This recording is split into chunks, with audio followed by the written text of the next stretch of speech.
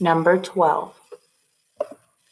Plant species rely on various methods of seed dispersal. Which type of seed dispersal would most likely be used by the organism shown in the diagram above? F. Animal dispersal. G.